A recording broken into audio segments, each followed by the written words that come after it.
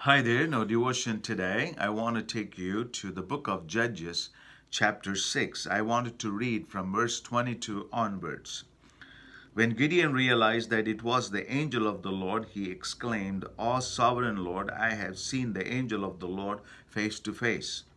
But the Lord said to him, Peace, do not be afraid, you are not going to die. So Gideon built an altar to the Lord there and called it the Lord is Peace. There's an encounter between the angel of the Lord and Gideon. And Gideon realized that it was the angel of the Lord who is calling him to be the next judge. And he immediately feared because he saw the angel of the Lord face to face. Because he had a fear that he will die because he saw the angel of the Lord. But the Lord said to him, Peace, do not be afraid, for you're not going to die. And so, in gratitude, Gideon built an altar there, and he called that altar Jehovah Shalom. God revealed himself as a God of peace. He himself sent his son and he is called the Prince of Peace. Isaiah prophesied about the Messiah, Jesus Christ, as the Prince of Peace. Now, Jesus, when he came along and he began to preach and minister to people, a time came when he was talking to his disciples. He said this in John's Gospel, chapter 14. Jesus was talking about him going to be arrested going to be killed and God is going to raise him up on the third day. And after talking to them in detail, he comes to a place and he blesses them.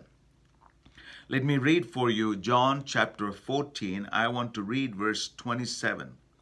This is what Jesus said Peace I leave with you, my peace I give you. I do not give you as the world gives. Do not let your hearts be troubled and do not be afraid. So here is a statement almost like the angel of the Lord made to Gideon.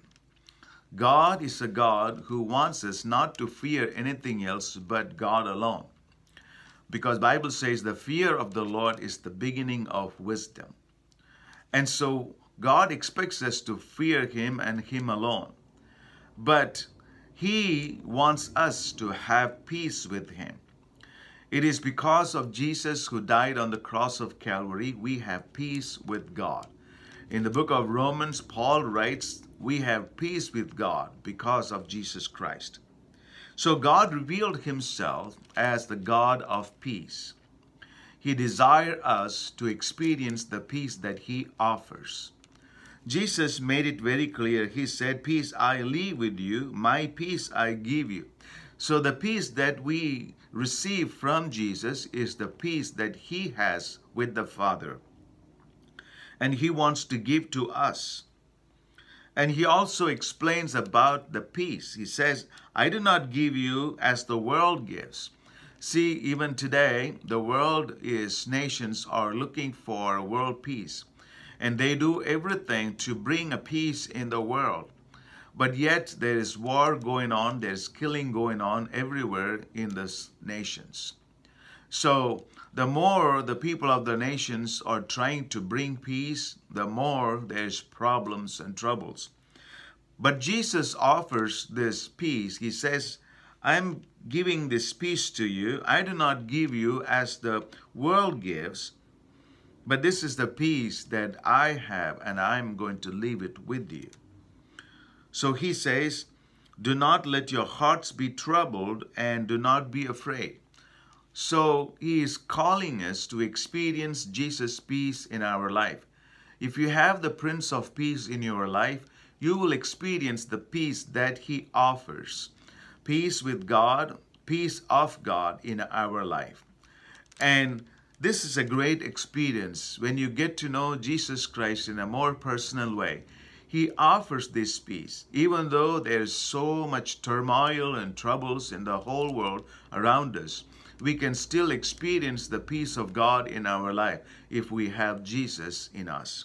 because that peace that Jesus offers is not the peace like the world offers. The world peace can be temporary, but the peace that Jesus offers is permanent.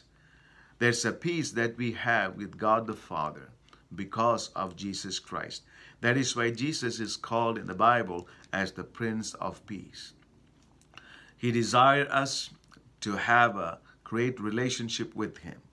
He is Jehovah Shalom. The Lord is our peace. God bless you as you experience His peace in your life. Even though the world is full of troubles, you can still enjoy the peace that Jesus offers in your life. God bless you. Shalom.